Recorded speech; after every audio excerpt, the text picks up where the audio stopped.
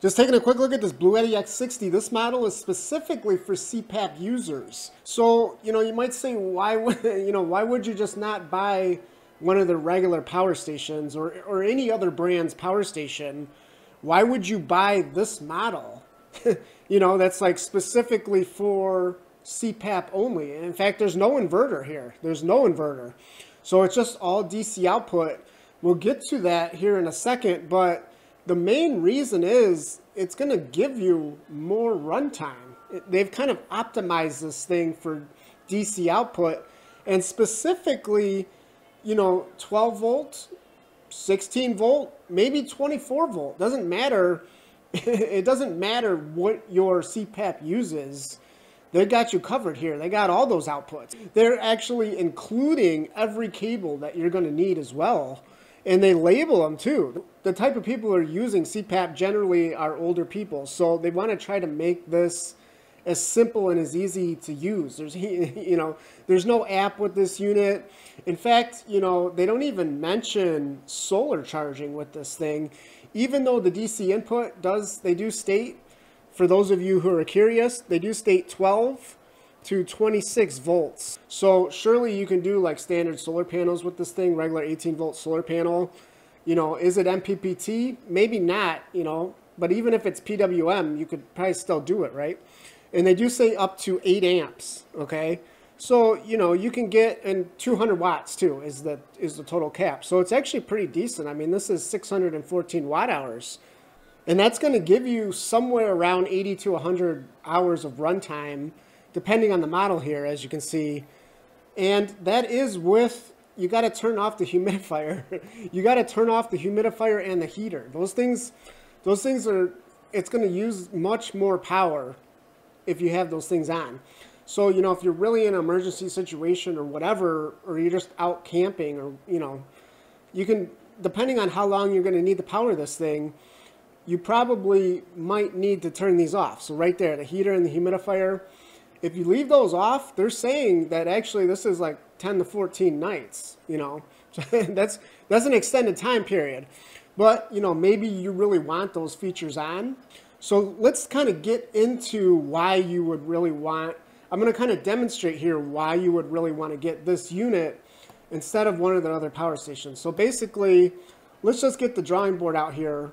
You've got, you know, the normal wall plug for these CPAPs is it's a little DC converter box, right? So it looks something like this, and it's got the plug on it. And you plug this thing right into the wall, and then, you know, here it'll hook up to your CPAP. So yeah, you just plug it into the wall. That's great. That's great when you have power at home. But if you're using this, these kind of, you know, portable power stations, backup power source, anything that's running off of a battery, the battery is DC power. So in order for you to power your DC powered CPAP, you know, you might think, well, that, that should be no problem. But guess what? You know, if you don't have the right voltage, then it's not going to work, is it? so you might say, you know, uh, who cares? I'll just plug it, you know, I'll just plug it right into the AC outlet ports on my portable power station. Well, guess what? You're going to use the inverter in that case. And as I've talked about in all my other videos, you, the second you turn that inverter on, depending on the power station here, but it's going to be using somewhere between 10 and 20 watts, just the inverter. So just having this section on, not powering anything, this is even before you plug anything into these outlet ports, you're going to be using 10 to 20 watts, probably. So, you know, that's gonna that's gonna actually that might even use more power than than the CPAP itself, especially if you turn off the heater, you turn off the humidifier. And you're not going to be wasting power. You're not even going to be tempted to use the inverter. You don't need it. It's going to power your CPAP directly. And as I mentioned, you're just going to get a ton of runtime on this thing. And, you know, if you're specifically looking to keep a CPAP going, yeah, this this starts to really make sense. And this thing isn't like totally stripped out. I mean, this is they actually put this display screen on here that they use on some of their power stations. Now it is the last generation display screen, but it's still good. I mean, it still gives you all the information you want, input, output watts. the actual percentage. I mean, some of their older Bluetti models, they didn't even give you the percentage. So, and by the way, this thing can, you can charge this and discharge it at the same time. So it does support pass-through charging.